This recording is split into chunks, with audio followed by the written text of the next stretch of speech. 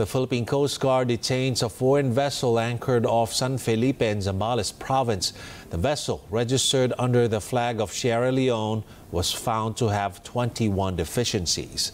Its seven crew members, all Chinese nationals, failed to present original copies of relevant documents.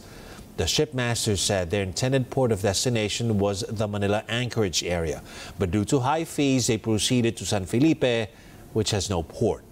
A Canadian national linked to the multi-billion peso illegal drugs haul seized in the Philippine province of Batangas has been arrested. The PNP says the yet unnamed Canadian is a primary suspect in the 9.6 billion peso illegal narcotics recovered in the municipality of Alitagtag on April 15.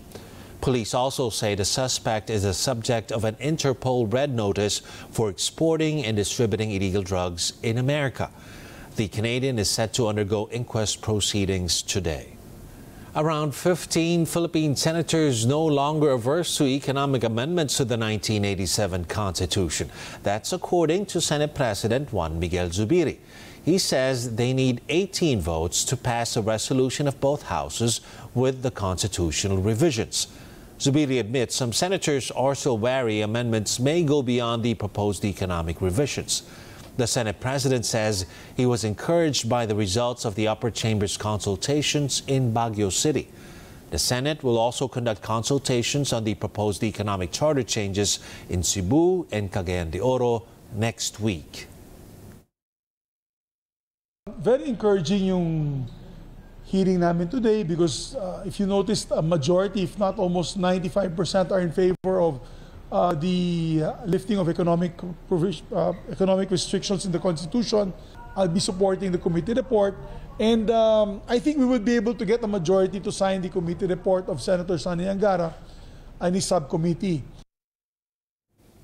Meanwhile, a local official not happy about efforts of unidentified legislators to pursue the People's Initiative there. Baguio City Mayor Benjamin Magalong called the move unethical. He insists the charter change process should be aligned with the provisions of the Constitution. Tech experts warn artificial intelligence may pose a threat to the integrity of the 2025 midterm polls. Sherrie Ann Torres reports.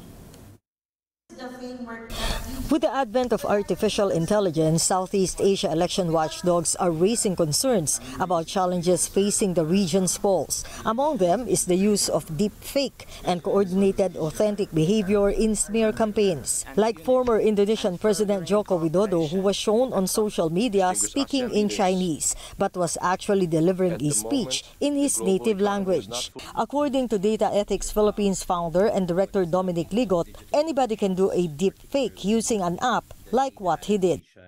Entonces ha, ha, habido algunas discusiones últimamente sobre lo que ahora se llama Pati yung lips eh, diba? AI. Actually, ma- mahalata mo lang na dis, na distort siya kasi yung microphone pag mastan may microphone na distort siya. Oh. So that means din deepfake din pati yung bibig, hindi lang yung audio. That's hard to find ah. Kunyari nakaangat yung mic ko, hindi mo makikita yun.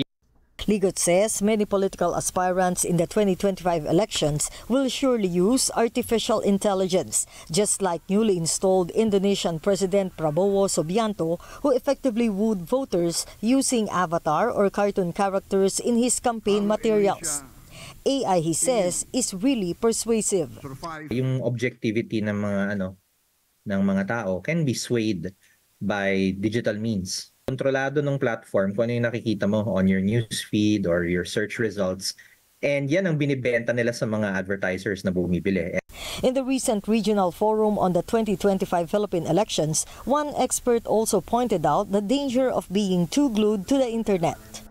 The Filipinos are the ones who are always online. So Filipinos are the ones uh, use mostly the online media and the digital platform uh, around the globe that they are very much exposed to the uh, digital threat uh, and, and also about the misinformation and disinformation. A close collaboration with other countries is a must to control the problem. Democracy Insights Group meanwhile points out other challenges the Philippines elections could face next year. These include dysfunctional information environment, influence of money in politics, a polarized nation, election safety and vulnerability to cyber attacks. Will the 2025 elections increase, and I think this is more important, increase the democratic, the people's trust on democracy and electoral processes as the primary avenue for social change. The Mafindo Group's recommendation to Filipinos top senior citizens in combating the spread of misinformation on social media.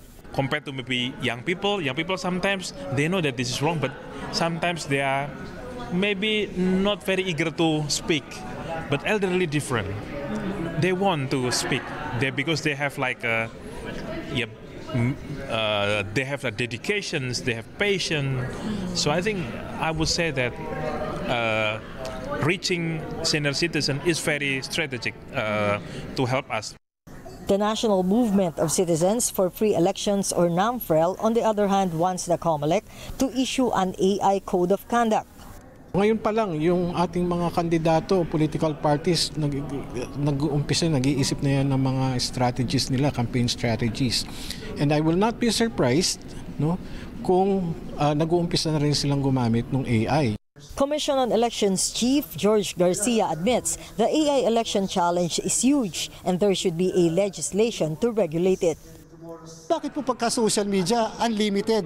Paano po yung mga troll farms? Paano po yung mga disinformation at saka misinformation? Paano namin mapaparusahan kung walang batas para parusahan ng ganong klaseng aksyon? Senator Amy Marcos, chairperson of the Senate Electoral and People's Participation Committee, says she agrees with the COMELEC.